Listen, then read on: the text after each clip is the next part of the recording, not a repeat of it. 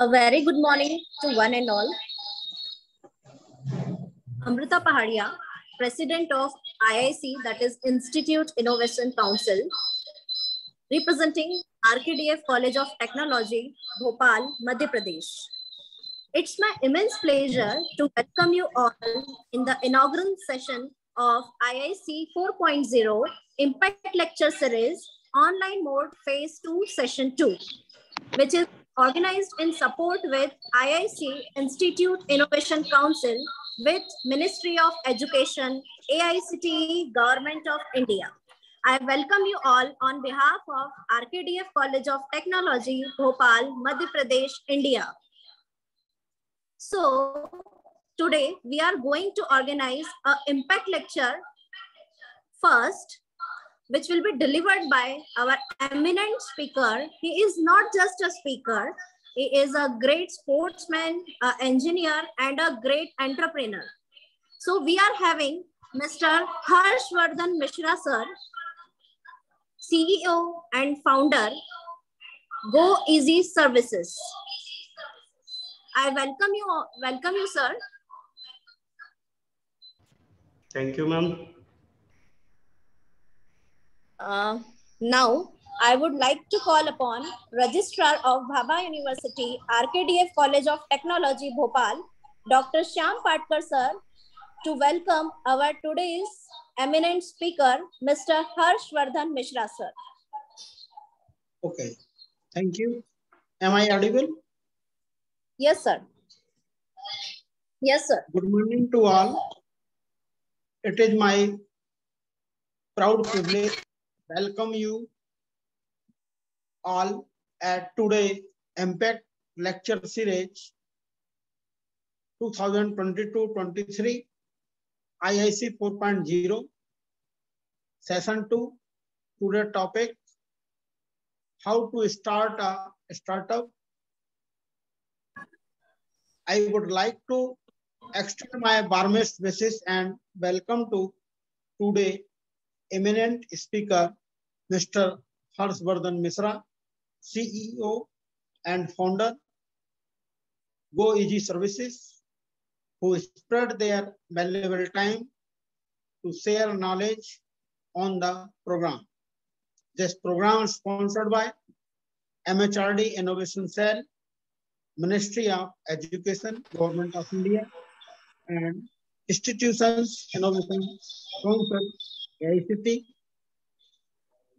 We are very thankful for organizing this impact lecture series for our students. We are assured that this will help our students a lot and they will get better clarity about their future career path. We congratulate Dr. Ashok Jhala, Principal RKDF College of Technology, and organizing, organizing team, Mr. Vijay Kant Pandey, Satyar Tiwari, and Amrita Pahadia Madam. Thank you. Thank you so much for your kind words, sir. So, let us start our first lecture of today's Impact Lecture Series. So we are having Mr. Harshvardhan Mishra, sir. I request you, sir, we can proceed further with your lecture.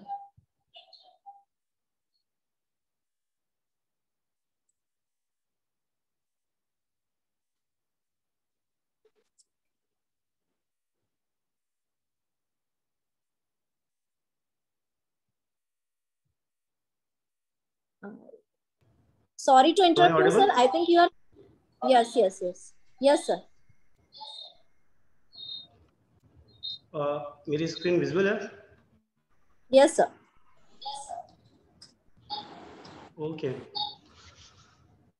so hello everyone मेरा नाम हर्षवर्धन मिश्रा है और मेरी company का नाम go easy home care service है so so, सबसे पहले मुझे ये जानना है सभी से कि यहाँ पे कितने लोग स्टार्टअप करना चाहते हैं Yes, sir. क्या आपने कोई आइडिया है आपके पास? आपको क्या चालू करना आपने कुछ सोचा है? सर अभी तो कोई आइडिया नहीं है। But startup okay. करना है। ओके। okay. और कोई?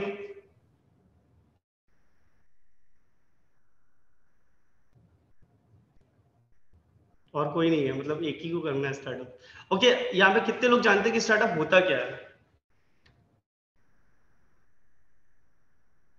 कोई बता सकता है कि स्टार्टअप होता क्या है?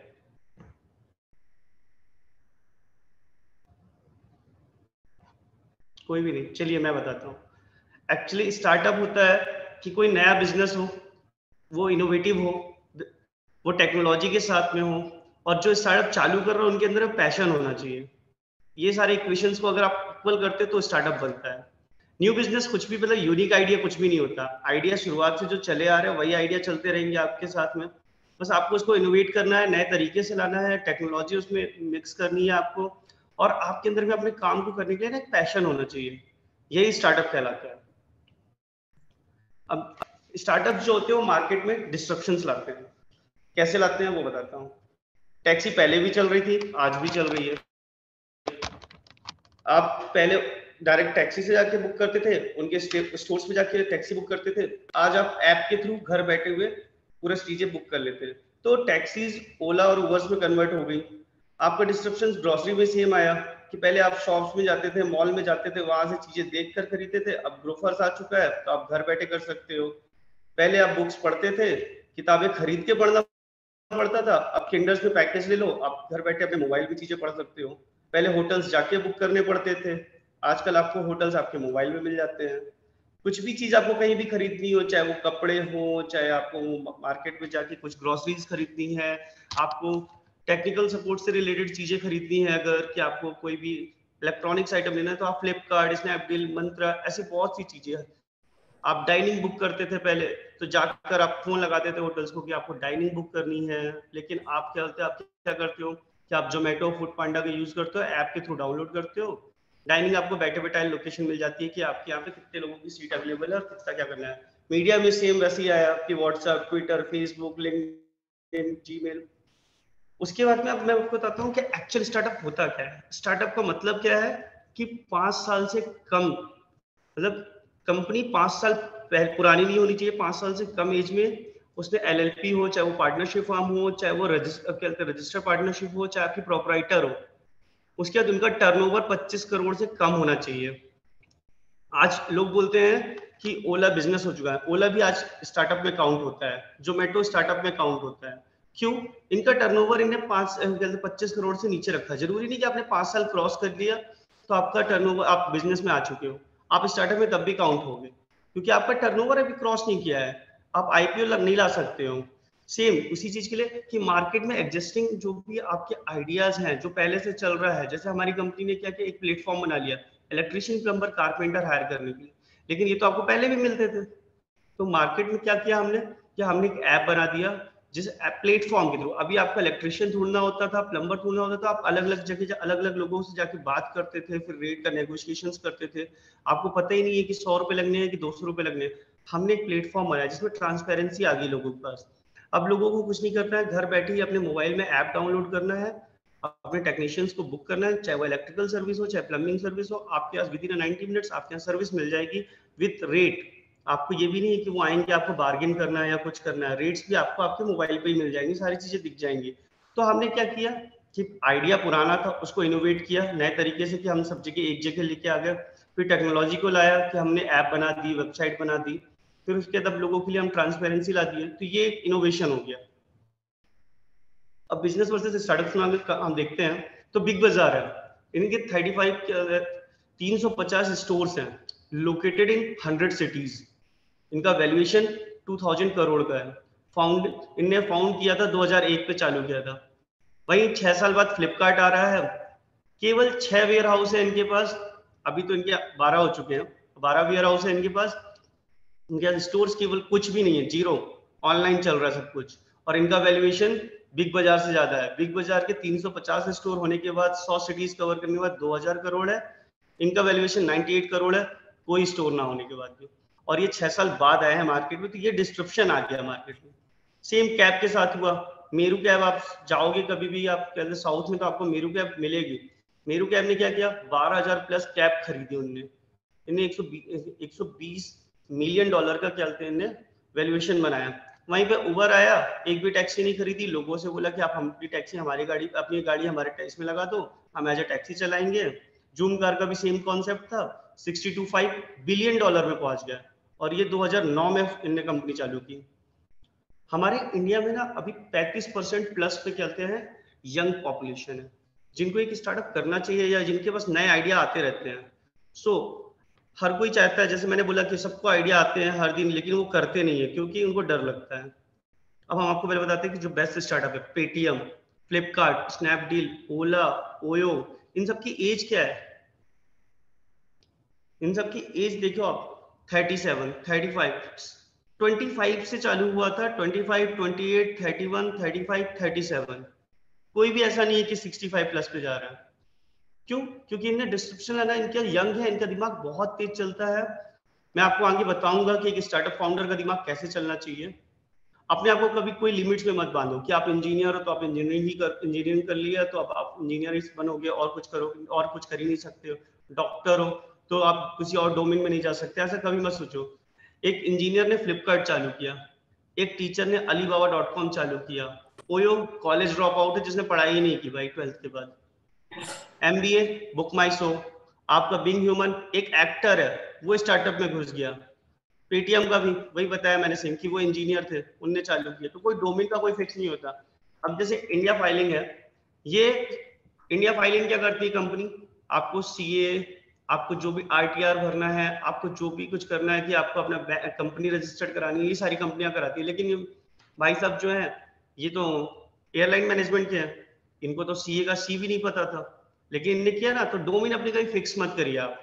मेरा कहना है कि आप आज़ाद हो सोचने के लिए, ये नहीं है कि आप आज इंजीनियरिंग कर रहे हो या आप कहते हैं बी कर रहे हो डी कर रहे हो, कहीं फिक्स होने की ज़रूरत नहीं है। आप जो कर रहे हो बीएससी वाला भी आज इंजीनियरिंग की कंपनी कंपनी खोल सकता है। जब ये कर सकते तो हम क्यों नहीं कर सकते? अपने आप को आप कभी भी, कहीं भी डिग्री होने के बाद लोग क्या कंफ्यूज हो जाते हैं कि अब आगे क्या करना है? मैं जॉब करूँ बिज़नेस करूँ, क्या करूँ, कैसे करूँ? तो कभी भी आप अपने आप को कंफ्यूज मत करो। अपनी चीज़ों को लेकर आइडिया लेके आओ। कुछ नया करने की सोचो यार। एक स्टार्टअप जो होता है ना स्टार्टअप फाउंडर वो सबसे पहले अपने आप, दिमाग को दौड़ा के वो लोगों से ना अलग तरीके से चीज़ों को करना जानता है। अब मैं आपको मैं आपको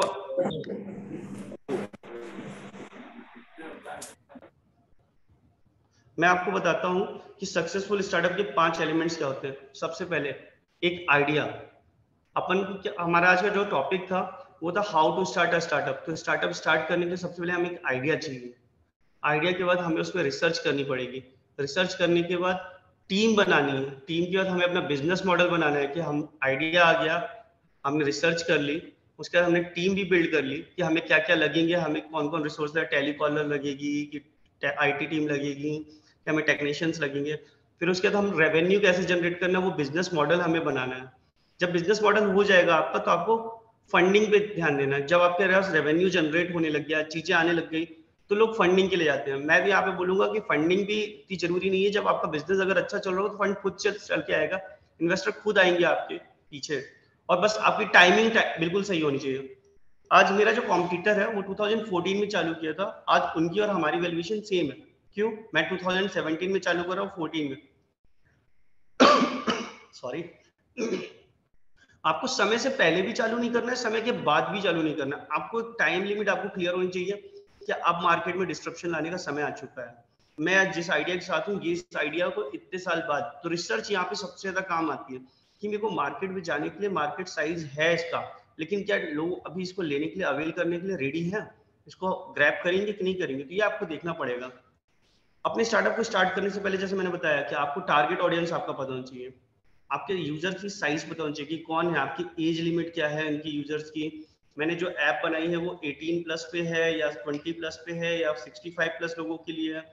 अब जैसे किंडर ने बनाए थे। किंडर का क्लियर था कि उनको सिक्स मतलब सिक्स ईयर के बच्चों से लेकर 65 ईयर तक पूरे सभी को देना है। पर वो धीरे धीरे छोटा करते गए। वो सिक्स ईयर से अपने 25 ईयर्स में आ गया फिर 25 ईयर से उनने क्या और कम किया, वो 18 ईयर्स में आ गया अब वो आजकल स्टोरीज बेचते हैं किंडल्स का। तो आपको उस टाइप पे ध्यान देना पड़ेगा कि आपका यूज़र साइज़ क्योंकि रिसर्च नहीं करने के बाद आप धीरे धीरे छोटे करना ही पड़ेगा। आपको अपना नीच बनाना पड़ेगा कि आपके स्टार्टअप में नीच क्या है। जैसे हमारा इलेक्ट्रिकल प्लम्बिंग कारपेंट्री हम देते तो 265 टाइप ऑफ़ सर्विस है। पर हमने फिक्स किया कि हमारी इलेक्ट्रिशियन प्लम्बिंग कारपेंट्री हमारी नीस है, हम इसमें बेस्ट होंगे। हमारे अलावा कोई इसमें काम ही नहीं दे सकता आपको। फिर आपका बिज़नेस का साइज़ क्या है? आपका मार्केट में साइज़ क्या है? मार्केट की मार्केट कितना बड़ा है? स्केलेबल मॉडल है कि नहीं है? आपको ये सारी चीज़ें सीखनी पड़ेगी। फिर उसके बाद रिसर्च के बाद आपको देखना पड़ेगा कि आपने जो बिज़नेस मॉडल चालू किया, जो बिज़नेस चालू किया, वो बी टू बी के लिए है या बी टू सी के लिए उसके बाद आपके कॉम्पिटिटर्स कौन है? आपको किससे कॉम्पिटिशन करना है? और अगर आपका सीनियर कॉम्पिटिटर है तो उसने क्या क्या गलतियाँ की हैं? उनसे आप क्या सीख सकते हो? क्या नहीं सीख सकते हो? उनने क्यों ये जो आइडिया चालू किया था, उसको बदला क्यों? उनकी गलतियाँ क्या थी? उस आइडिया में वहाँ पे बदलने की ज़रूरत क्यों पड़ी उनको? तो ये सारी चीज़ें आपका एनालिसिस करने के बाद आपका स्टार्टअप सबसे परफेक्ट बनता है। अब मैं आपको बता देता हूँ कि आपको अपनी चीज़ें कैसे सारी चीज़ें। आपको ब्रांडिंग प्रमोशंस आपको idea creation storytelling social media presence ये सारी चीज़ें आपको रेडी करके रखनी पड़ेंगी। कभी भी आप मार्केट में अगर जाते हो तो आपकी चीज़ें आपको रिप्रेजेंट करने पे मजबूर कर दे लोगों को। आपका यूएक्स अच्छा होना चाहिए। यूएक्स मतलब होता है यूज़र एक्सपीरियंस तो आपकी यूएक्स की डिज़ाइन अच्छी होगी, तभी यूएक्स अच्छा होगा। आपका ई कॉमर्स प्लेटफॉर्म है डेवलपमेंट है, आपको फोटोग्राफी करवानी पड़ेगी। अपनी चीज़ों को एनिमेट एनिमेशन में प्रमोट करना पड़ेगा। वीडियो कंटेंट्स बनाने पड़ेंगे। फिर ब्लॉग्स लिखने पड़ेंगे। आपको होस्टिंग वगैरह सारे सॉल्यूशंस पे जाकर ध्यान देना पड़ेगा कि आपको क्या चालू करना है, कैसे चालू करना है और कहाँ कहाँ आपकी प्रेजेंस होनी चाहिए। और मैंने अभी जैसे बोला था कि कोई भी आइडिया उसको इनोवेट करना पड़ता है। चल तो पहले से रही थी सारी चीज़ें। अब उनको आपको इनोवेशन के थ्रू नया मार्केट में कैसे लाना है, वो आपको देखना है। मैंने आपको बताया था ना कि स्टार्टअप फाउंडर अभी कैसे सोचता है, मैं आपको बताऊँगा तो यहाँ पे जो स्टार्टअप फाउंडर का दिमाग होता है ना, वो पूरे, मैंने डिस्क्राइब किया हुआ है इस डिज़ाइन को, मैंने बनाया हुआ है। इसमें है कि एक स्टार्टअप फाउंडर का दिमाग हमेशा क्या बोलते हैं? फुल आइडिया से भरा होना चाहिए कि अगर मैंने इस आइडिया को चालू किया और लास्ट में जैसे अभी कोविड आ गया था तो बहुत से स्टार्टअप बंद हो गए। क्यों? क्योंकि वो फ्लेक्सिबल नहीं होते, उनके पास दिमाग नहीं था, वो स्टक हो चुके थे। क्योंकि उनने क्या किया कि हमने बस यही करना है, इसके अलावा और कुछ कर नहीं सकते। लेकिन बहुत से ऐसे स्टार्टअप थे जो उस टाइम पे अपनी चीज़ों को बुक बेचना भी बुक बेचने वाला स्टार्टअप भी सैनिटाइजेशन में आ गया था। तो उनको आइडिया आना चाहिए कि उस लोकेशन में कैसे वो अपॉर्चुनिटी ग्रैप कर सकता है। उनके तुरंत सारी चीज़ें रहनी रेडी रहनी चाहिए। इन्वेस्टर्स की अपॉर्चुनिटी उनको हमेशा देखनी चाहिए। उनकी आँख जो होती है ना, वो ऐसी रेडी होनी चाहिए, चील की तरह होनी चाहिए कि यार यहाँ पे अगर अपॉर्चुनिटी है तो मुझे इसको ग्रैप करनी है और ये कैसे भी करके मुझे मिले। कम्युनिकेशन एंड विजन उनके उनके साथ में हमेशा रेडी होना चाहिए। जब वो बोले तो उनकी बातों पे उनके ना एक पैशन दिखना चाहिए कि हाँ ये स्टार्टअप फाउंडर है इनसे मिलना चाहिए, इनसे हमको कम्युनिकेट करना चाहिए। लोगों को ऐसा होना चाहिए कि आप बिल्कुल आपके आसपास ही वो घूमे। आपकी बातें जब वो आपसे बात करें तो उनका विजन उनके सामने आना चाहिए। यार मैं मार्केट में डिस्टर्ब करना चाहता हूँ, चीज़ों को इतना बड़ा दिखाना चाहता हूँ।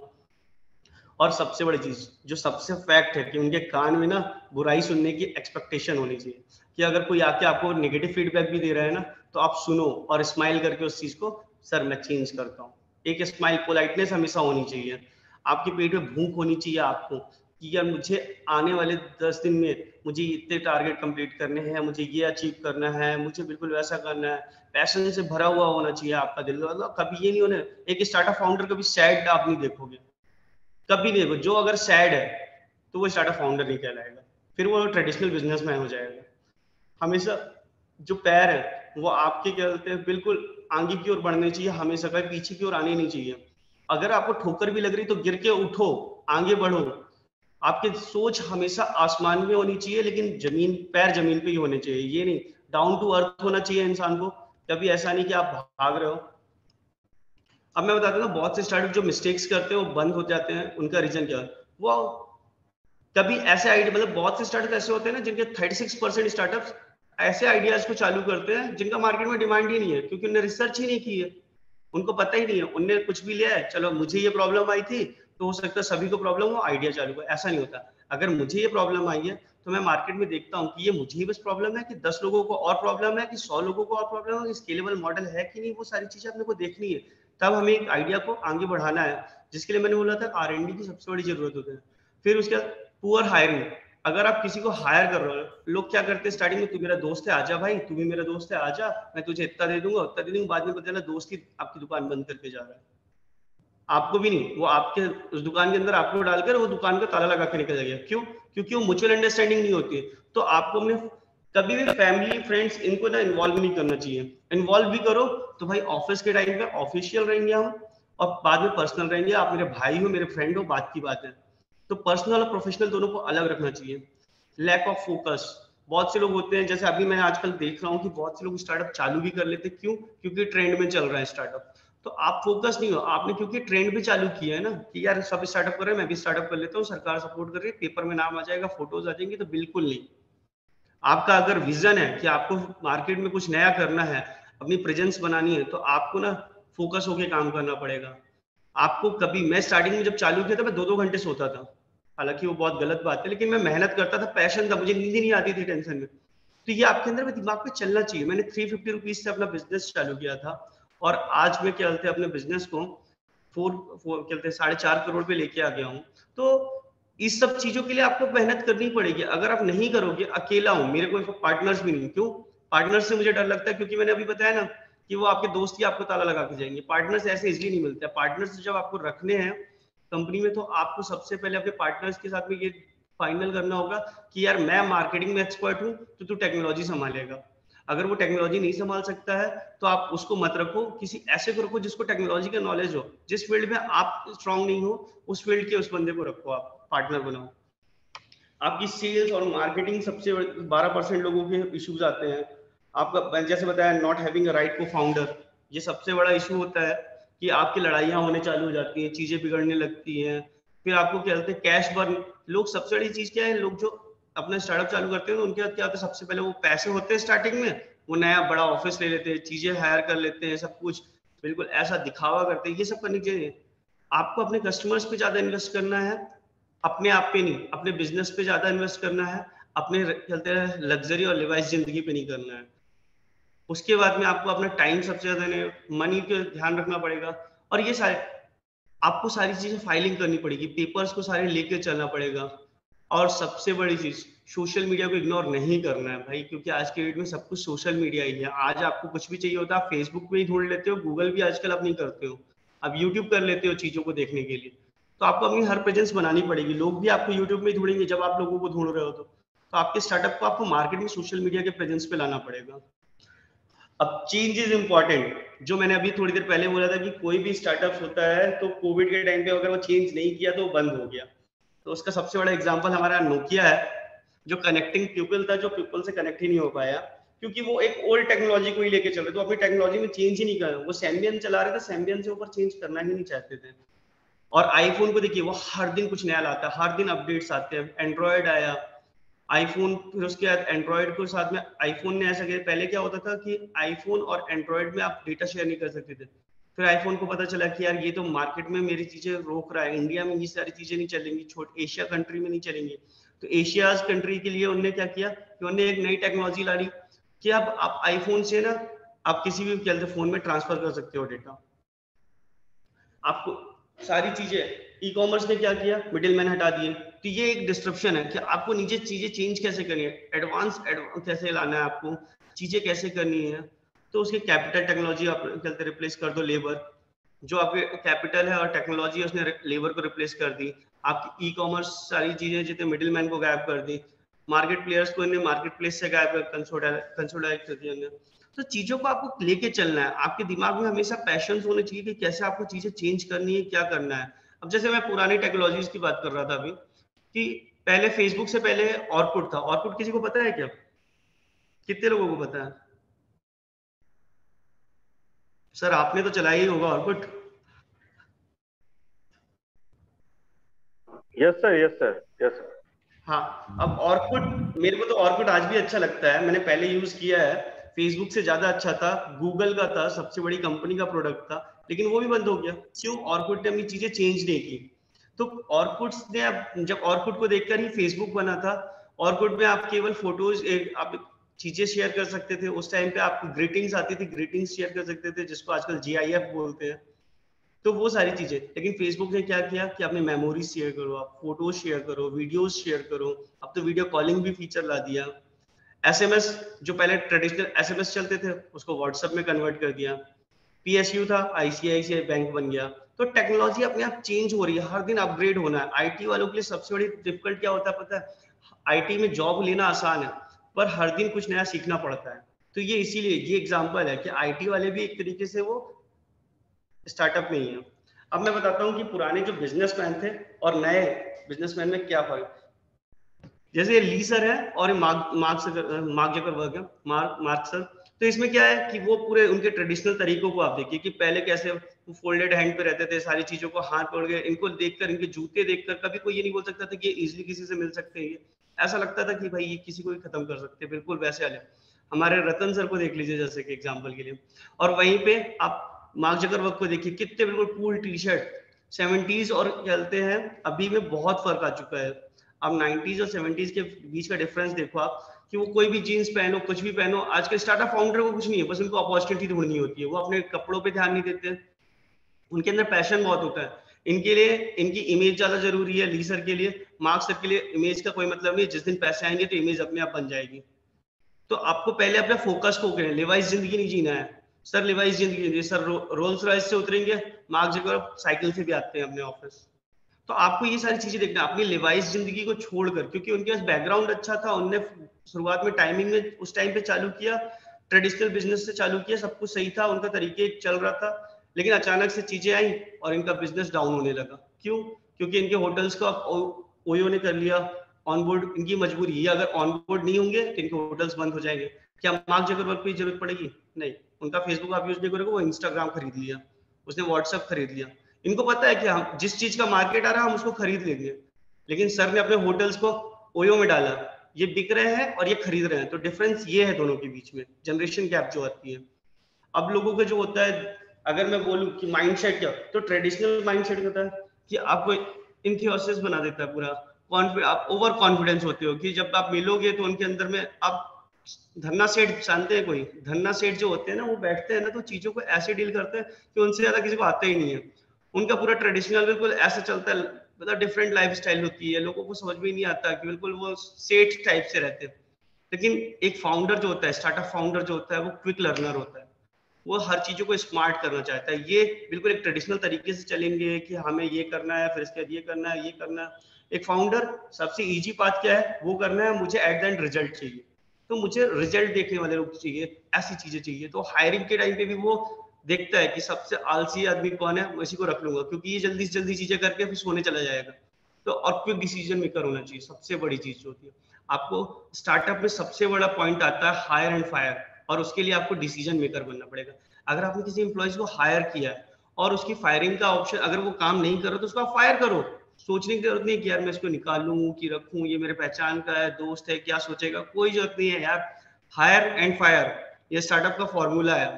आपको रिस्क कैपेबिलिटी आपकी अच्छी होनी चाहिए। एक फाउंडर्स के अंदर में रिस्क टेकिंग होनी चाहिए कि अगर मैं रिस्क नहीं ले सकता तो मैं बिज़नेस कर ही नहीं सकता। अगर मैंने इस बिज़नेस में आया तो पहले दिन ही रिस्क रख ले लिया।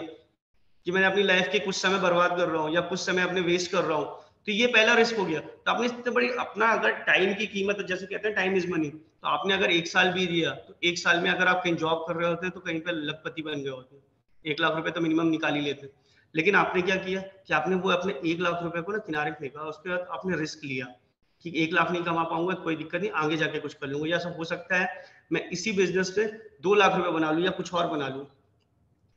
एक फाउंडर्स के दिमाग में हमेशा आउट ऑफ़ द बॉक्स सोचने की कैपेबिलिटी होनी चाहिए। वो हमेशा ही बैठकर कुछ नया सोचे, कुछ नया करने का मार्केट को कैसे अपन चेंज कर सकते हैं। जैसे हमने भी क्या किया, हम पहले स्टार्ट किए थे कि हमें अपने electrician plumber carpenter B to B to C को देना है। फिर हमने थोड़ी दिन बाद सोचा कि यार और क्या नया कर सकते हैं। तो हमने बी टू बी को एनुअल मेंटेनेंस कॉन्ट्रैक्ट देना चालू कर दिया। आज की डेट में आपका एल कॉलेज हो गया वीआईटी भोपाल हो गया आपके और भी ऐसे बहुत से कॉलेज है जिनके गार्डनिंग का हाउस कीपिंग का काम हमारे पास आ चुका है। क्यों? रीजन ये है कि हम पहले बी टू बी में नहीं थे। पहले पुराने ट्रेडिशनल तरीके से जो लोग चल रहे थे, वो थे। हमने इस चीज़ को बदला, हमने तरीके बदले, उनके सामने जाकर प्रेजेंट किया। और जैसे ही हमने नया कुछ ला के रखा, क्योंकि पता है मार्केट में हर चीज़ नया लेने के लिए पूरा इंडिया रेडी होता है। स्टार्टिंग में लैंडलाइन था, जैसे मोबाइल आया, सबने ले लिया। बोलते ज़रूर है कि महँगा है, लेकिन यूज़ सभी कोई करेंगे। बुराई हर कोई करेगा, लेकिन यूज़ उसकी हर कोई कर रहा होता तो फाउंडर को हमेशा ना मार्केट में कुछ नया ला रखने की होनी चाहिए। अभी हम सोसाइटीज के लिए ज़ीरो वेस्ट सोसाइटीज बनाना चालू कर दिए सरकार के साथ मिलकर तो आपको हमेशा कुछ नया करने की चाह होनी चाहिए, आपके दिमाग में हमेशा रेडी होनी चाहिए। अब सबसे बड़ा टारगेट सर्वाइवल होना चाहिए आपको। जो स्टार्टअप फाउंडर होता है ना, मैं बोला था लिवाइस ज़िंदगी आपको किनारे करनी लग्जरियस से दूर होना। आपको ना, अब आपको डिसाइड करना है कि आप क्या खाओगे? पिज्जा खाना पसंद करोगे या टिफ़िन में आई हुई रोटी खाना पसंद कर लोगे। बहुत से लोग पहले क्या होता है कॉलेज टाइम पे हम अपनी बहुत ही अच्छी ज़िंदगी जी चुके होते हैं तो उसके बाद हम पे लगता है कि यार मैं तो फाउंडर हो गया, अब और अच्छी ज़िंदगी जी। ये नहीं पता कि उनकी लाइबिलिटीज बढ़ चुकी हैं। अब आपको कुछ नया करने के लिए आपको खर्चे भी अपने कम करने पड़ेंगे, क्योंकि हर दिन मार्केट में नई चीज़ें आ रही हैं तो उनको ग्रैप करने के लिए आपको अपना कन्वेंस तो कम करना पड़ेगा, पैसे बचाने पड़ेंगे, चीज़ें रेडी रखनी पड़ेगी तो वो है। तो आपको एक फाउंडर जो होता है ना, उसको अपने एम्प्लॉयज़ को। कभी कभार ऐसी कंडीशन आई थी, हमारे पास भी आई थी नो डाउट लॉकडाउन के टाइम पे ना लोगों के पास बिज़नेस बंद हो गए थे। और जब बिज़नेस बंद हो गए थे तो वो क्या कर रहे थे कि अपनी खुद की सैलरी नहीं ले रहे थे। मैं बहुत से ऐसे स्टार्टअप फाउंडर्स से मिलता रहता हूँ, जो बड़े स्टार्टअप हैं सक्सेस हैं फंडेड है। मार्केट में वैसे ही उनका अच्छा खासा नाम चल रहा है। वो किसी कंपनी के या किसी चीज़ में अच्छा इन्वेस्ट भी करते हैं एक्विजिशन करते हैं, दूसरी छोटी कंपनियों को खरीद भी लेते हैं। वो फाउंडर्स भी अपनी सैलरी रोक लिए थे। क्यों? उनको अपने एम्प्लॉयज़ को सैलरी देनी। तो वो खुद की सैलरी रोक के रखे थे कि हो सकता है लॉकडाउन का कोई डेट फिक्स नहीं है, कब तक चलेगा तो अपनी पैसों, थोड़ी सी अपनी लाइफ को ना छोटी करके हम आगे लोगों तक पहुंचाते हैं। अब जैसे फ़ूड पांडा जोमेटो सप्लाईज में अगर देखा जाए तो ग्रोफर्स बिग बास्केट ट्रेवल्स में, अभी मैं आपको ये इसलिए दिखा रहा हूँ, ये स्लाइड्स कि मार्केट में अभी केवल और केवल दो प्लेयर्स बचे हुए हैं। हर फ़ील्ड में, लेकिन मार्केट फिर भी इनका बहुत बड़ा है। फ़ूड पांडा और जोमेटो के बाद उबर ईट खत्म हो गया। लेकिन अगर अभी कोई लोकल चालू करे तो भी मार्केट इतना बड़ा है कि वो गैदर कर, क्योंकि अभी भी आप खुद सोचना प्रीमियम क्लाइंट के पास। आप फ़ूड पॉइंट और जोमेटो मोनोपॉली खेलेंगे या अपने कस्टमर्स को कहते हैं अच्छे रेट्स में आप, क्योंकि इनका कॉम्पिटिटर ही नहीं है। ये पैसे बढ़ा के करेंगे। आप छोटे कर दो। आप कम पैसों में, आप कमीशन आपका जो बन रहा है दस रुपए, आप पाँच रुपए लो। जोमेटो आपके अपने आप या तो आपके कहते एक्वायर कर लेगा जोमेटो खरीद लेगा आपकी कंपनी को और या तो आपके साथ कॉम्पिटिशन करना चालू कर देगा और जिस दिन वो कॉम्पिटिशन चालू करने लगे, उस दिन समझ लेना कि आप जोमेटो के लेवल के पहुँच चुके हो। तो ये सारी चीज़ें आपके दिमाग में सेट होनी चाहिए। फिर ट्रेवल्स में आया तो यात्रा डॉट कॉम था, फिर मेक माई ट्रिप आ गया। आपके ओ के बाद कबाड़ी बाज़ार आया। तो मार्केट में हर दिन कुछ नया आ रहा है। आपको बस करने का तरीका चाहिए। हो सकता है यहाँ से भी रिप्लेस हो जाए चीज़ें और कुछ नया आ जाए। अब सक्सेस मंत्र अगर मैं देखता हूँ तो सबसे पहले आपको तीन चीज़ें करनी है। To start with good people अपने साथ कुछ भी नया करना तो गुड पर्सन के साथ में चालू करो। अच्छे लोगों के बीच में रहकर चालू करो, क्योंकि वो आपको ना हमेशा मोटिवेट करेंगे डीमोटिवेट नहीं करेंगे। सब, अपने कस्टमर के हिसाब से चीज़ों को बनाने के लिए। कस्टमर क्या चाहता है, वो सोचो, उसको कैसे लेके चलना है। कभी भी कोई स्टार्टअप होता है ना स्टार्टअप फाउंड होता है तो वो चार लोगों से फीडबैक भाई, मैं ये चालू कर रहा हूँ। तो क्या ये मार्केट में चलेगा? और अच्छे फीडबैक और बुरे फीडबैक दोनों को सुनिए। आप दोनों को लेकर फिर अपनी चीज़ों को आगे बढ़ाइए। कम पैसों में ज़्यादा पॉसिबिलिटीज बनाइए आपको, मैंने अभी स्टार्टिंग में ही बताया था कि आपको फंड्स मैनेजमेंट आना चाहिए। आपने अगर शुरुआत में ही सारे पैसे बर्बाद कर दिए तो कुछ नहीं कर पाएँगे। बंद होने की कगार में आ जाएँगे, क्योंकि स्टार्ट में कुछ नहीं होती मेहनत, बाद में लगते हैं फंड्स की ज़रूरत होती है पूरी। तो आपको अपने कम पैसों में अच्छे रिसोर्सेज रेडी करने हैं, चीज़ें करनी है। आपको कुछ भी करने से पहले have pride in how far you have come have faith in how far you can go ये सबसे बड़ा मंत्र है। उसके बाद आपको चीज़ों को चेंज करने में कभी डरना नहीं चाहिए। कभी भी, हमेशा न्यू बिगनिंग्स के लिए रेडी रहना चाहिए। आपको चीज़ें जैसे भी करनी है मार्केट में कुछ भी नया लाना है, हमेशा रेडी हो। कुछ भी नया आ रहा है, उसको तुरंत ग्रैप करो कि मार्केट में कैसे क्या नया आ सकता है। मैं पहले डरता था स्टेज पे जाकर प्रेजेंटेशन देने से। लेकिन चीज़ें क्या हुई कि आज मैं आपके सामने यहाँ पे ऑनलाइन भी दे रहा हूँ। मुझे तो आप भी नहीं रहे, लेकिन मैं दो ही प्रेजेंटेशन दे रहा हूँ ना। तो ये आपको नए तरीके सीखने के लिए आपको मजबूर करते हैं। मैं बैक वेंचर था, मैं आपको वैसे बता दूँ। चीज़ें, आपको कुछ नहीं करना है। आपको सबसे स्ट्रॉन्गेस्ट पर्सन बनना इंटेलिजेंट पर्सन बनना, आपसे अच्छा सर्वाइवल किसी के अंदर होनी चाहिए। और सबसे बड़ी चीज़, आपका मैनेजमेंट स्ट्रांग होना चाहिए। आपको चीज़ों को ना फ्यूचर्स को लेकर चलने के लिए आप रेडी रहो हमेशा। और अपने पुराने जो लेसन हैं, जो भी गलतियाँ की उनसे सीखने को मिलना चाहिए। तो dare to pass thanks for all the lesson आपको हमेशा बोलना चाहिए कि यार मैंने लास्ट जो गलती की थी, उससे कुछ नया सीखने को मिला। मेरी लाइफ मतलब थोड़ा सा चेंज हो चुकी है। आपके अंदर फ्यूचर को ग्रैप करने के लिए हमेशा रेडी कि ये अपॉर्चुनिटी आएगी, मुझे उसको ग्रैप करना, उसके लिए मैं हमेशा रेडी रहूँ।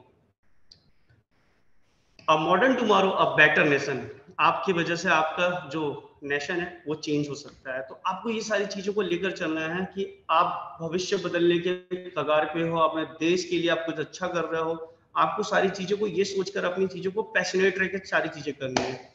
So thank you any questions queries तो सर एक क्वेरी है sir hello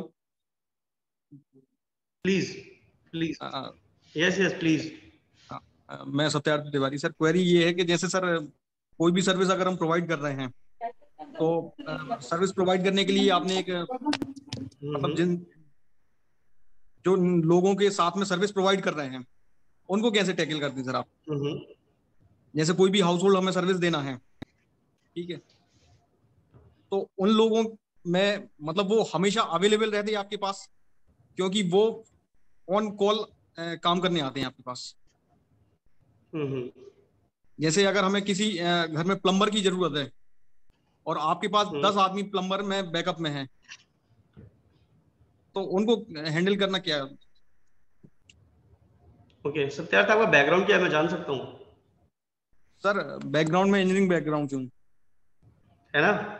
और फै, फैमिली बैकग्राउंड क्या एक थोड़ा सा एग्जांपल के लिए। पापा मतलब क्या है? मैं सर कॉलेज में फैकल्टी हूँ।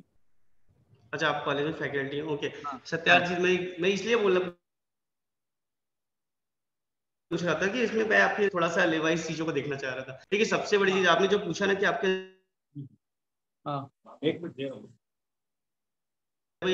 कैसे उनको कहते हैं हमने दो मॉडल चालू किए। पहला मॉडल हमारा वर्क करता है sorry Satyarth am I audible yes sir audible है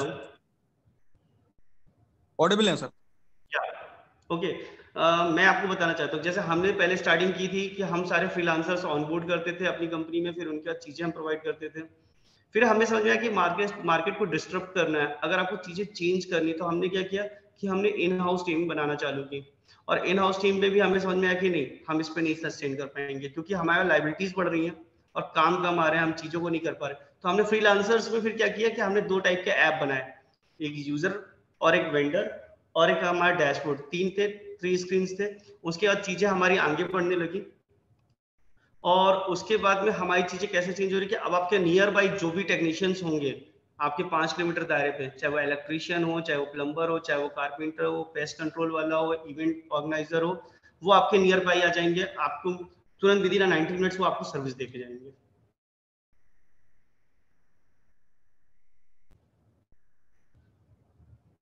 हेलो हाँ। हम्म।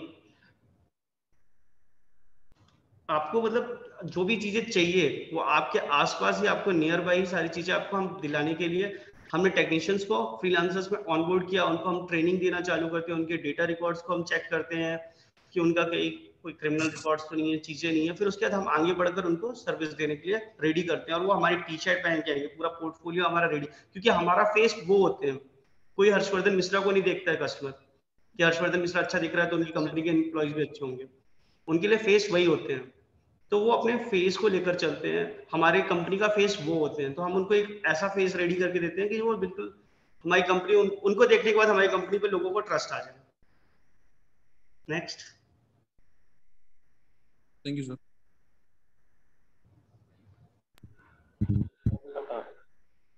sir मैं अशोक झाला सर मैं आपसे जानना चाह रहा हूँ कि ये आपको मोटिवेशन जैसे अर्बन प्लेटफॉर्म आपका है हाउस होल्ड सर्विसेज़ का इसका आइडिया और मोटिवेशन आपका क्या रहा सर इसमें जो आपने ये स्टार्टअप चूज़ किया? तो सर एक्चुअली ये स्टार्टअप ये मुझे ये क्वेश्चन तो हर कोई मुझसे पूछता ही है चाहे मैं वो इंटरव्यू में हूँ चाहे मैं न्यूज़ चैनल्स में जाके बैठा हूँ तो ये बेसिक क्वेश्चन है मेरे लिए तो एक्चुअली स्टार्टअप सर एक्चुअली मुझे कोई आइडिया 2016 में नवंबर 2016 की बात है। मेरे पास दिमाग में एक्चुअली कुछ चल रहा था। उस टाइम मैंने जॉब छोड़ के मैं बैठा। मैं सिविल इंजीनियर हूँ बेसिकली तो मैं अपनी जॉब छोड़कर आया हुआ था और जॉब छोड़कर आदमी थोड़ा परेशान रहता है क्योंकि उसको उसके हिसाब से जॉब नहीं मिल रही थी। उसी टाइम पे मेरे घर पे प्लम्बिंग का इश्यू आ गया था और कारपेंटरी का इशू आ गया था। इलेक्ट्रीशियंस आपको, आपकी दुकान पे जाके मिल जाएँगे। बट प्लम्बर और कारपेंटर ढूँढने में आपको सबसे ज़्यादा डिफ़िकल्ट होता है। तो मैं गया, मैंने पुराने तरीके से कि अपने पड़ोस वाली आंटी से पूछा उन्होंने मना कर दिया कि हमारा लड़का आएगा, उनका लड़का आया, वो प्लम्बर आ गया कारपेंटर तो भी नहीं आया। तो ऐसी चीज़ें चल रही थी। फिर मैं कारपेंटर ढूंढना तो सबसे बड़ा टास्क है सर आज की डेट में, मैं बता रहा हूँ। अब तो ईजी हो चुका है जब से हम चालू कर लिए हैं। नाइन्टी वन थाउज़ेंड कस्टमर्स को हम सर्विस दे चुके हैं भोपाल में। पर पहले क्या था कि 2016 नवंबर में, उस टाइम पे ठंड के टाइम पे कारपेंटर्स भी नहीं आते थे। और इनका सबसे बड़ा इशू क्या रहता था कि वो आ भी जाएँगे तो उनके रेट सौ रुपए के काम के ना, सात सौ रुपए, आठ सौ रुपए बता के जा रहे तो आप उसको कैसे करेंगे? मैंने समझ में नहीं आ रहा था। और हम लोग, मैं जॉब छोड़ के ही बैठा था। हमारे रूममेट्स थे, उनके वो तैयारी कर रहे थे गवर्नमेंट की तो दिमाग में बहुत सारी चीज़ें चल रही थी। तो उसी टाइम पे सर, हमने काम तो करवाया, किसी तरह ढूंढ ढांड के अपना। और हमने जब प्लम्बर को बुलाया तो हमारे बीच की एक सॉकेट लगानी थी। बहुत ही छोटा सा काम था, पैंतालीस रुपए का काम था। अगर मेरी कंपनी की तरफ़ से आप देखा जाए आज की डेट से वो पैंतालीस रुपए के काम के लिए हमने उसको नौ सौ रुपए दिए। तो वो एक उस टाइम पे जो क्लिक किया कि मैं और मेरा रूममेट था सुभजीत मैंने और सुभजीत ने ये डिस्कस किया सुभजीत क्या है यार? हमने सौ रुपए का काम नहीं था वो। सौ रुपए के काम के हमने नौ सौ रुपए दी तो या तो ये बहुत पैसे वाले हो रहे होंगे। बने ऐसे रहते हैं। तो चीज़ें समझ में आई कि फिर हमको मार्केट में हर कोई इसी चीज़ को फेस कर रहा है। क्योंकि आपके दिमाग में जब चीज़ें आती है ना, आपको दस जगह वो चीज़ें, ऐसी प्रॉब्लम्स दिखने लग जाती है। कि आज मेरे साथ हुआ, कुछ दिन बाद आपका दोस्त को इंसिडेंस होता है कि आपके दोस्त के घर में सेम चीज़ हुई होती है, वो भी आपको आगे यही चीज़ बता के जा रहा होता है। तो सिनारियोज बनते गए बनते गए बनते गए। तो मैंने थोड़ा सा रिसर्च चालू करी, क्योंकि मैं जॉब छोड़कर बैठा हुआ था तो मैंने रिसर्च चालू कर दी उसी टाइम पे। और फिर कबाड़ी वाला डॉट कॉम अनुरागा साटी वो मेरे बेस्ट फ्रेंड हैं तो उनने मुझे आकर मेरे साथ बैठे हुए थे तो हमने जस्ट डिस्कस किया जनरल सा कि ऐसा कुछ चल रहा है मार्केट में, मैं कुछ करना चाहता हूँ। तो उन्हें बोला, खुद का चालू कर लो स्टार्टअप तो सर मैंने स्टार्टिंग उस टाइम पे चालू किया और फिर चीज़ें मैंने कैसे की थी कि पहले मैं कस्टमर से पहले टेक्नीशियंस को ऑनबोर्ड करना चालू किया था कि जितने टेक्नीशियंस थे, उनको ऑनबोर्ड किया, फिर उनसे बोला, भैया, मैं आपको काम दूँगा।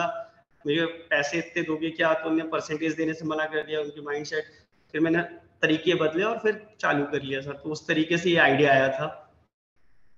तो मैं वही बोला कि आइडियाज़ आपको घर बैठे आपको कभी भी कहीं भी मिल सकते हैं। और उनको तरीके बदल के आपको इनोवेशन कैसे करना है इनोवेट कैसे करना आपको वो देखना है उसको। सर एक क्वेश्चन हो। रहा है ये जो सर्विसेज़ अपन प्रोवाइड कर रहे हैं इस फ़ील्ड में बहुत साल पहले येलो पेजेस आए थे। येलो पेज डायरेक्टरी थे वो। हाँ डायरेक्टरी थी तो उसमें मतलब काम रिलेवेंट वही था कि उनके फ़ोन नंबर्स थे। उसके बाद आया जस्ट डायल हाँ। जस्ट डायल पहले था फिर येलो पेज आया मैं आपको बता हाँ. और लोकल लेवल डायरेक्टरी है हाँ। मैं आपको बता रहा हूँ जस्ट डायल येलो पेज आपका क्या कहते हैं सुलेखा आपका हाँ. गूगल भी इवन ये सारी चीज़ें डायरेक्टरी है हम सर्विस प्रोवाइडर है। दोनों में डिफरेंस है। अर्बन क्लैब और गो इजी आपका हाउस जो है मिस्टर फिक्स और लोकल जितने और भी लोग चल रहे हैं ये सब सर्विस प्रोवाइडर है। मैं इस चीज़ में थोड़ा सा करूँगा थोड़ा सा टॉपिक को लाऊँगा। और इवन नगर निगम भोपाल ने भी सर्विस प्रोवाइड प्रोवाइड चालू की थी सर बंद हो गई मेयर एक्सप्रेस बंद हो गई हाँ मैंने मैंने मैंने उसको ग्रैब कर लिया एक्चुअली उसका हाँ. जो था वो अभी हम उनके लिए सर्विस देना चालू किए थे। पर वो सरकार को उसमें हमको भी उसमें फ़ायदा नहीं हो रहा था तो हमने उसको बंद कर दिया। वो हमसे हमारे साथ में चालू किया था नगर निगम का। मेयर एक्सप्रेस जो आया था वो हमारे साथ ही चालू हुआ था। आ, मैं बताना चाह रहा हूँ कि लोगों को ना मार्केट में सबसे बड़ी प्रॉब्लम जो मैं फेलियर्स का बता रहा था कि रेशियोज बहुत ज़्यादा है तो लोगों को यही क्लियर नहीं है कि वो एक्चुअली है क्या वो चालू क्या कर रहे हैं। आप सर्विस बेस्ड स्टार्टअप हो या आप डायरेक्टरी हो या प्रोवाइडर हो या प्रोडक्ट बेस्ड स्टार्टअप हो आपको ये चीज़ें क्लियर होनी चाहिए। बहुत से लोग मुझे आके बोलते हैं कि आप तो प्रोडक्ट प्रोडक्ट बेस्ड स्टार्टअप हो। मतलब क्यों? वो बोलते हैं कि आपका ऐप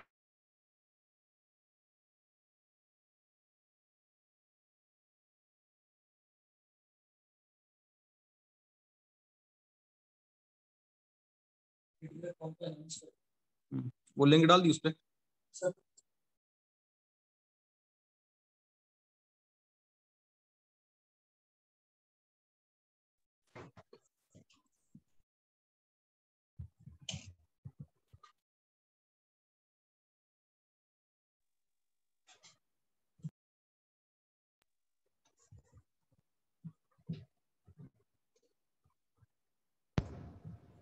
Am I audible?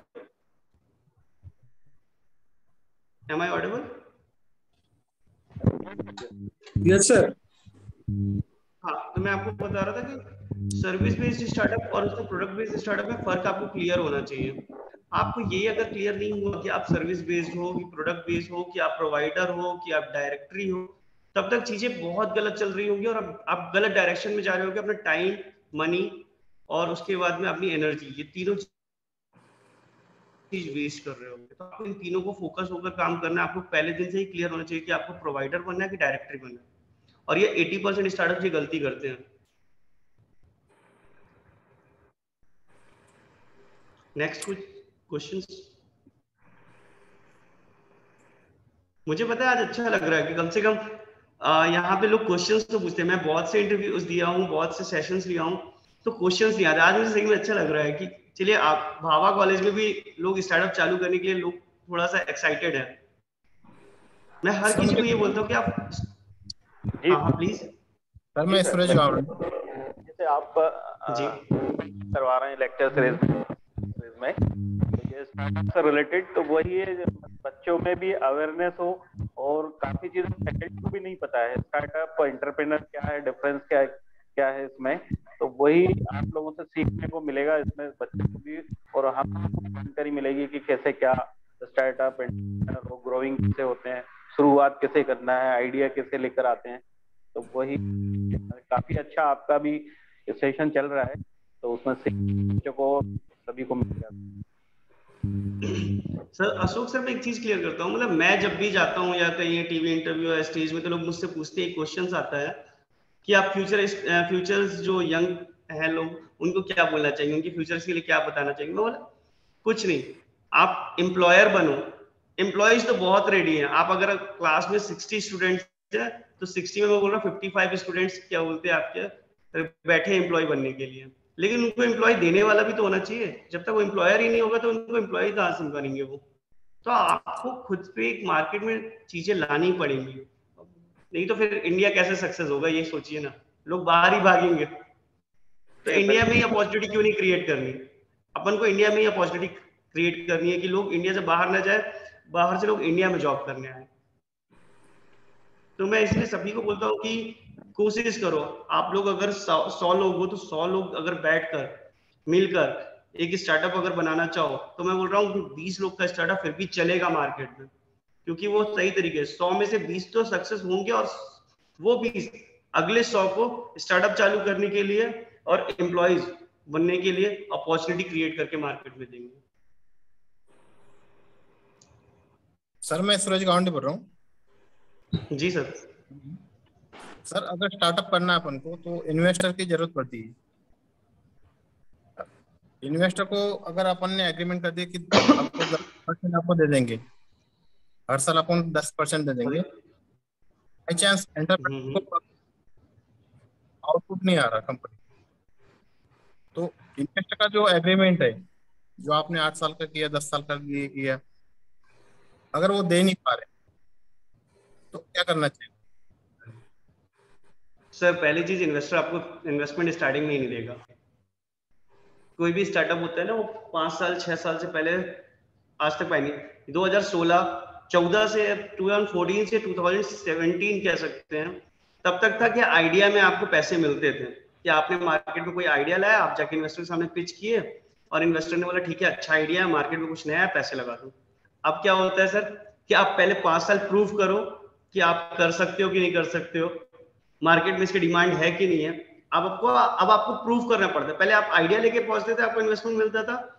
अब आपको इजिली इन्वेस्टमेंट मिलते नहीं है। आपको अपने आइडिया को ना प्रूफ करना पड़ता है कि नहीं, ये मार्केट में स्केलेबल है, मैं इसको चला सकता हूँ। तब जाके मिलता है। अब आपको जो क्वेश्चन है कि अगर आपको इन्वेस्टमेंट मिल भी गया तो आप कैसे आगे चलते हो, उसको वो करोगे? कैसे मार्केट में आप उनको अगर सर्विस नहीं दे पा रहे हो, पैसे नहीं बना पा रहे हो तो आप उनको कैसे पैसे लौटाओगे या क्या चीज़ें करोगे? सो उसमें दो चीज़ें होती हैं। जो आपका पेपर वर्क होता है ना पेपर वर्क में पहली चीज़ें क्लियर हो जाती हैं कि अब कंपनी में दो पार्टनर हो चुके हैं। एक आप है, एक आपका इन्वेस्टर है तो आपका इन्वेस्टर भी लॉस वियर करेगा। आपको उसको पैसे लौटाने के आपने अगर debt debt fund debt fund में क्या होता है कि लोन लेना, कि आपने उनसे ब्याज पे पैसे लिया आपने कंपनी के अगर शेयर दिए हैं तो वो कंपनी पार्टनर है। परसेंट का लॉस हो रहा है कंपनी का उतना परसेंट का लॉस उसका भी हो रहा है। तो ये चीज़ें आपको खुद से लेके चलनी पड़ेगी। आपको भी इक्विटी का लॉस वो भी झेलेंगे आप भी झेलेंगे। कंपनी अगर दिवालिया हुई तो उनके पैसे डूब चुके हैं, उनको भी ये चीज़ क्लियर अगर वो इन्वेस्टर आप में इक्विटी लिया है, और अगर वो आपको डेट फंडिंग दिया हुआ है तो डेट फंडिंग में क्या है कि उन्हें लोन दिया है तो आपको फिर जॉब करके लौटाना है या कुछ भी करके लौटाना है, वो फिर लुकआउट रहेगा कि इन्वेस्टर्स और आपके बीच में होगी। और कल को अगर आप अपनी स्टार्टअप को बंद नहीं करते हैं, और आप इक्विटी अगर दे के रखे हैं उनको, और वो बोल रहे हैं कि अब मुझे एग्जिट चाहिए, मुझे क्योंकि इसमें लॉस दिख रहा है तो वो अपना जो इक्विटी है वो किसी बाहर वाले को बेचने से पहले वो आपको बेचेगा अगर आपने उसको बोल दिया कि आप बाहर वाले को नहीं बेच सकते अपनी इक्विटी तो वो इक्विटी बेच भी नहीं सकते वो इक्विटी को आपको ही देके जाएँगे चाहे कुछ भी कर ले आप। थैंक वेलकम और कोई questions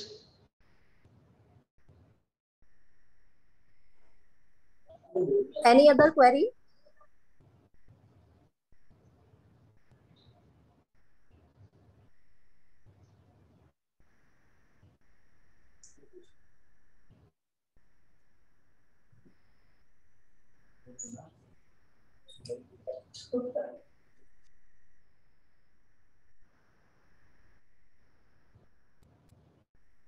Sir एक और अ, मतलब जैसे बात चली थी बीच में जोमेटो का एग्जांपल दिया था आपने।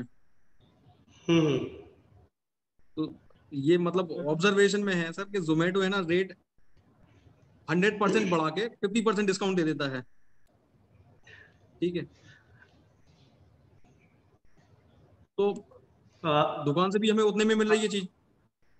हम्म। और जोमेटो ने हंड्रेड परसेंट बढ़ा के फिफ्टी परसेंट डिस्काउंट दे दिया। हम्म। तो मतलब आदमी को ये समझ में आता कि भाई हमें फिफ्टी परसेंट डिस्काउंट पे चीज़ें मिल रही हैं। लेकिन अगर मतलब इन डेप्थ जाए तो इसका क्या सॉल्यूशन है सर तो मतलब अगर हम ये इस टाइप की स्ट्रेटेजी ना अपना के ऑपरेटिंग प्रॉफिट हमें बढ़ा के रखना है तो क्या करेंगे सर देखिए, मैं इसमें दो चीज़ें क्लियर करता हूँ जोमेटो आप जो बोले तो जोमेटो एक्चुअली उस पर ऐसे नहीं करता है कि आपकी हंड्रेड परसेंट कॉस्ट बढ़ाए। उसने चीज़ें फिक्स करके रख ली हैं। जोमेटो ने अपने मॉडल को चेंज किया, मैं आपको क्लियर जोमेटो ने अपने मॉडल को तीन तरीकों से चेंज किया कि अब वो यूज़र्स से कमीशन लेता है। उसके बाद में आपके जो वेंडर्स है, जो होटल्स है, जितने भी होटल्स है उनके साथ प्लीज़ म्यूट कर लें hello am I audible yes sir okay Zomato ने क्या किया कि पहले वो यूज़र्स से कमीशन लेता है क्योंकि वो प्लेटफॉर्म चार्ज जिसको कहते हैं तो हम भी लेते हैं। वो हर कोई लेता है टैक्सी भी लेता है जोमेटो भी लेता है स्विगी भी लेता है आपके इवन आपका अमेजोन भी आपसे प्लेटफॉर्म चार्जेस लेता है जिसको कमीशन कहते हैं। तो वो गलत नहीं है। और वो हंड्रेड परसेंट नहीं होता है। आप जो बोल रहे हो वो सिक्सटी परसेंट रहते हैं। क्योंकि ये गवर्नमेंट के नॉर्म है कि आप सिक्सटी प्लस पे नहीं जा सकते हो सिक्सटी परसेंट तक आप रेट बढ़ा सकते हो मार्केट में, या आरबीआई की कॉल से पूरे। तो आपको 60 परसेंट देकर वो 50 परसेंट ऑफ़ देता है तो उसमें वो उनके रेट्स हैं जो। उनके साथ में उनसे वो पहले ही टाई अप कर चुका है कि मैं आपके नौ रुपए की रोटी को, मैं अपने यहाँ में बारह रुपए दिखाऊँगा। या फिर मैं सोलह रुपए दिखाऊँगा, या आपकी जो बाईस रुपए की रोटी है, मैं उसको तीस रुपए दिखाऊँगा। उनके परसेंटेज पहले से फिक्स हो चुके हैं, इनके एग्रीमेंट में लिखा है। प्लस वो उनसे सब्सक्रिप्शन चार्ज ले रहे हैं, उनको प्रमोट करने के लिए। आप देखते होंगे, कुछ जब जोमेटो खोलते तो उसमें दिखता है, कुछ होटल्स में फिफ्टी परसेंट ऑफ़ होता है, वो टॉप पे दिख रहे होते हैं। आप सागर गहरे वो सर्च कर रहे हो, लेकिन उसके ऊपर कुछ और नया पहले आ रहा है। क्योंकि जो ज़्यादा पैसे दे रहा है, उसको प्रमोट कर रहा है।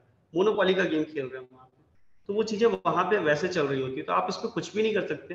आप दो ही चीज़ें कर सकते हैं, या तो उनसे सर्विस लेना बंद कर दो, जो कि पॉसिबल नहीं, क्योंकि अब आप पेट्रोल अगर काउंट करोगे, कि आप सब खाना लेने जा रहे हो तो आपका पेट्रोल भी काउंट हो रहा है, कि आपकी एनर्जी लॉस हो रही है, वहाँ पे आपकी टाइमिंग का इशू आ रहा है। आप उस टाइम पे गाड़ी ना चला के कुछ और काम कर सकते थे। आप अपना एंटरटेनमेंट भी अगर मूवी देख रहे हो तो मूवी को छोड़कर तो आप जाना पसंद नहीं करोगे। तो ये सारी चीज़ों के लिए वो आपसे चार्जेस ले रहा है, जो आपको पे करना ही पड़ेगा।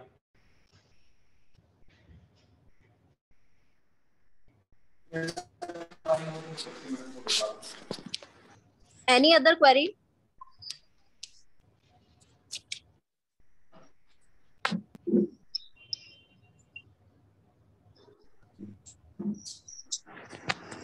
सर मेरा एक पर्सनल क्वेश्चन है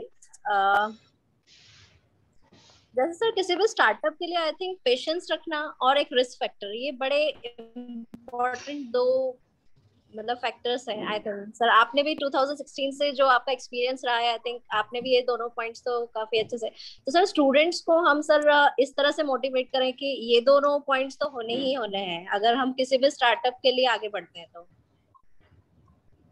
देखिए, मैं आपको इसमें दो चीज़ें बोलूँगी। कोई भी चीज़ हो, किसी भी चीज़ में आप जॉब के लिए जा रहे हो आप अपने टीचिंग लाइन पे जा रहे हो, आप किसी मैनेजमेंट कंपनी में ज्वाइन कर रहे हो इवेंट ऑर्गेनाइजर हो, या खुद का स्टार्टअप चालू कर रहे हो, या किसी दुकान में बैठ रहे हो पेशेंस सबसे बड़ा काम होता है। जिसके अंदर पेशेंस नहीं उसको जॉब भी नहीं कर पाएगा। सच्चाई है। तो पेशेंस तो आपको हर चीज़ में चाहिए होगा। आपके लिए मतलब ऐसा है कि पेशेंस आपके लिए सब कुछ है, और पेशेंस ही आपको फ्यूचर दिखाएगा, और पेशेंस के ही साथ आप आगे बढ़ पाओगे। और जो आप जो रिस्क टेकिंग की बात कर रहे हो तो रिस्क टेकिंग अगर नहीं हो सकता तो आप फिक्स है कि आप एम्प्लॉयर एम्प्लॉय हो। क्योंकि एम्प्लॉयर जो होता है, वो हमेशा रिस्क आज आपके जो भावा खुली है इंस्टीट्यूट उनने भी कभी रिस्क लिया था। उन्हें थोड़ी ना पता था कि उनके पास आज लाखों में बच्चे आ जाएँगे। तो कहीं ना कहीं उनको रिस्क लेना। तो जितने भी बिजनेसेस सबने रिस्क लिया है। ओला आज भी लॉस पे चल रहा है। आज सात आठ साल हो गए ओला को, लेकिन वो लॉस पे चल रहा है। लेकिन वो आज रिस्क तो भी लेके चल रहा है। लोग उस पर रिस्क ले रहे हैं कि ओला में भी फंड्स लगा रहे हैं। तो ये चीज़ें आपको रिस्क और कोई भी स्टार्टअप मैं सभी को बोलता हूँ कि कभी भी आप कुछ भी कर रहे हो, आप पढ़ाई भी कर रहे हो तो पढ़ाई में भी आपको क्या पेशेंस की ज़रूरत होगी। आपको पहले दिन ही सब कुछ नहीं आ जाएगा कि आपने इंजीनियरिंग ज्वाइन की, चार साल का पेशेंस नहीं, आपको एक साल में डिग्री मिल जाए। डिग्री के बाद भी आप प्रैक्टिकल नॉलेज नहीं है तो आप कुछ नहीं कर पाओगे।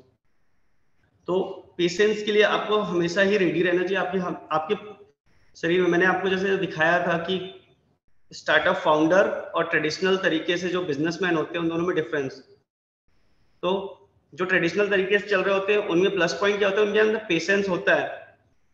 वो सोचते हैं कि मैंने ये तरीका चालू किया तो मैं इससे चलूँगा। तो इसलिए वो चल रहे होते नहीं तो वो भी बंद हो गए होते। क्योंकि हर दिन मार्केट में कुछ नई अपॉर्चुनिटी आती है वो नहीं कर, अगर पेशेंस नहीं होता तो वो ग्रैप करेंगे नहीं उनको ट्रेडिशनल तरीके से चलाना है वो बंद हो जाएँगे। तो मैं सभी को बोलता हूँ कि पेशेंस और रिस्क टेकिंग और टाइम मैनेजमेंट ये तीनों चीज़ें ज़रूरी होती है। टाइम मैनेजमेंट को कोई काउंट नहीं करता है। सबको ये लगता है कि अभी चार साल है, चार साल बाद तो नौकरी रखी हुई है, मिल जाएगी। तो बॉस ऐसे नहीं मिलती है। आपका अगर टाइम मैनेजमेंट नहीं है, आप सुबह बारह बजे सोकर उठोगे और चार बजे सुबह आराम से सोने का सोचोगे तो पॉसिबल ही नहीं। अगर आप, मैं क्लियर बोलता हूँ, क्योंकि अब अपना इंडिया थोड़ा सा बड़ा हो चुका है तो चीज़ें छोटी नहीं लगेंगी। अगर आप कपल हो फैमिली को टाइम दे रहे हो, किसी को भी टाइम दे रहे हो तो उस चीज़ का एक लिमिट बना के रखो, हर चीज़ को कि आपको कहाँ पे किसको कितने कितने टाइम देना और कहाँ कहाँ कैसे लेके चलना है। चाहे वो आपके फ्रेंड्स हो फैमिली हो पेरेंट्स हो, आपके साथ में कोई भी आपका जो टीचर है, सबके एक लिमिट होती है, आपको पढ़ाई कितने बजे से कितने बजे हम बचपन में देखते थे, हम टाइम टेबल सेट करते थे। वो टाइम टेबल के हिसाब से चलना पड़ेगा। टाइम मैनेजमेंट सबसे बड़ा वो होता है आपके लिए सक्सेस का मंत्र है। क्योंकि टाइम इज़ मनी हमेशा याद रखिए आप।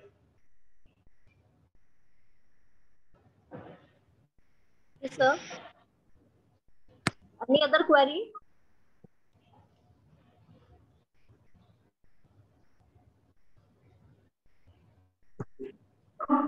So uh, that's all for today. Thank you so much, sir, for imparting knowledge and giving your precious time with our students and our university, RKTF College of Technology, Bhopal. Hopefully, our student will get benefited from your uh, knowledgeable lecture. So thank you so much. Now I would like to call upon Dr. Mr. Satya Tiwari, sir, for vote of thanks. One more information I would like to share. Feedback link form has been shared in chat box. So I request all the participants, please fill the feedback form so that we can provide e-certificate. Thank you. Amrita ma'am मुझे एक चीज़ बोलनी थी।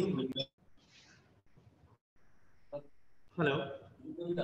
Thank you sir Satyarth sir मुझे थोड़ा सा बच्चों से एक चीज़ और बोलनी थी yes, आप आ, हाँ मैं सभी को ये बोलना चाहूँगा अगर किसी के अंदर भी, भी कुछ भी क्वेरीज है अगर किसी को कुछ स्टार्टअप चालू करना है पर वो परेशान है कि कैसे चल कर और इवन कुछ लोग जो होते हैं जो शाय होते हैं यहाँ पे बोल भी नहीं पा रहे हैं ना तो उसके लिए मैं आपको एक सीधा सा एक मंत्र दे रहा हूँ कि अगर आपको कुछ फ्यूचर में करना है या सीखना है, चाहे वो आपके जॉब से रिलेटेड हो या आपके कभी किसी चीज़ से भी रिलेटेड हो कि आपको स्टार्टअप से चालू करना है बिज़नेस चालू करना है या कोई आइडिया है, किसी के साथ शेयर करना है तो मैं बोल रहा यहाँ पे भोपाल में ढाई हज़ार स्टार्टअप है।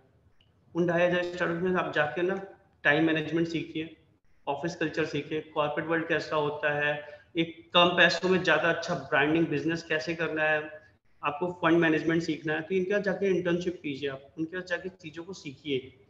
मैं नहीं बोल रहा कि आप गोइजी में आइए, आप योलमेट में जाइए वीरा में जाइए बीमा एक्सप्रेस यहाँ पे कबाड़ी वाला डॉट कॉम यहाँ पे बहुत से स्टार्टअप हैं और जो हमसे भी ज़्यादा सक्सेसफुल हमसे ज़्यादा पुराने हैं, लेकिन वो आज भी मैनेजमेंट में ही चल रहे हैं कि कम पैसों में चीज़ें अच्छी कैसे बनाते हैं, ये सीखिए। कोई भी स्टार्टअप चालू करने से पहले, मैं खुद किया था अर्बन क्लैप में अप्लाई किया था मैं इंटर्नशिप के लिए। अर्बन क्लैप वालों ने रिजेक्ट कर दिया क्योंकि मेरे लिंक्डइन प्रोफ़ाइल में लिखा हुआ था कि मैं फाउंडर हूँ गोइजी का। पर मैं खुद गया था अपने कॉम्पिटिटर्स के बाद में, पास में सीखने। तो आप सेम आइडिया भी है ना तो भी जाके सीखिए, कुछ नया कर सकते हैं बस that's all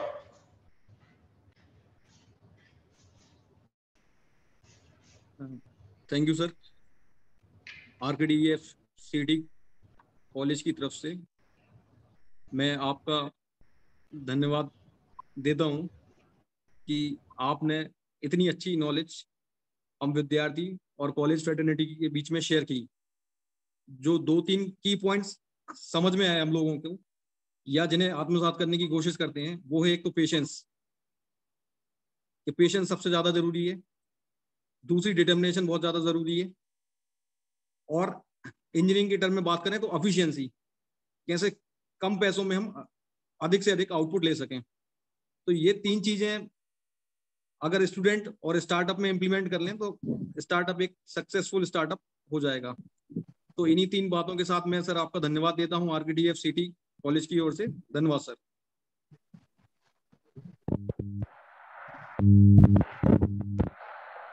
Thank you sir thank you.